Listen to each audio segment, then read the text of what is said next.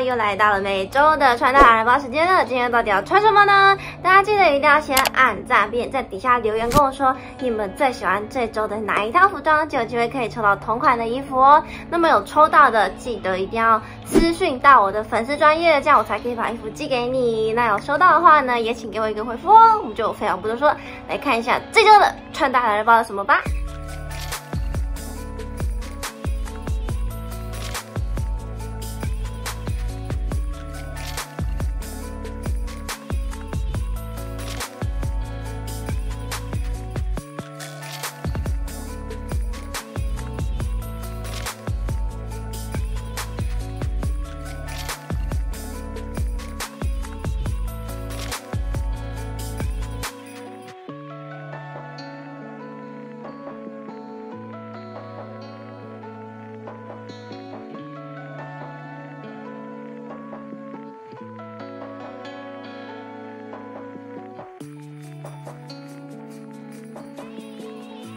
是不是觉得最近天气忽冷忽热的很讨厌呀？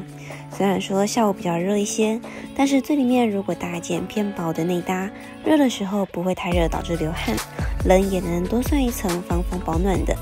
而且黄蓝搭配一直都是穿搭的经典哦，长版的外衣也可以挡挡腿部，以免受凉哦。新的一年来啦，先祝大家新年快乐！红色一直是能代表着喜庆欢乐的颜色，不过选择深红或是枣红，可以带给人一种更神秘性感的感觉哟。黑色上衣的灯笼袖设计也能让整体缓和许多。这周约会不妨试试这样的穿搭看看吧。有时穿它只要很简单的搭配，就能打造优雅却又有气场的感觉。这种造型的格纹通常都会让人有气质的氛围，尤其再加上西装外套的话，真的看起来就会像是刚柔并济的样子。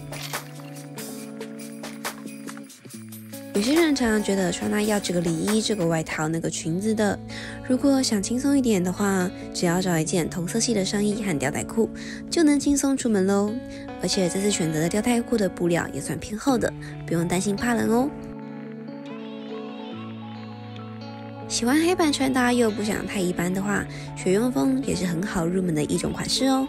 除了好入门外，也是今年流行的款式之一。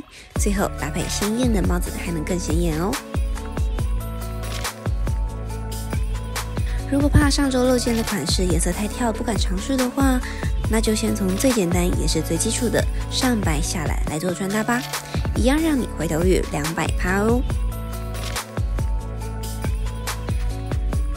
今天想舒服休闲一点，就这样穿吧。格纹内搭和素色毛衣一直都是穿搭秘籍，感觉穿这样出门踏踏青也是很不错的选择呢。不知道这一周各位最喜欢的是哪一套呢？如果有喜欢的话，记得一定要帮我的影片按赞，并且在底下留言跟我说你们最喜欢的是哪一套，就有机会可是我同款的服装哦。那我们就下次再见，考上米到，我是米菲，拜拜。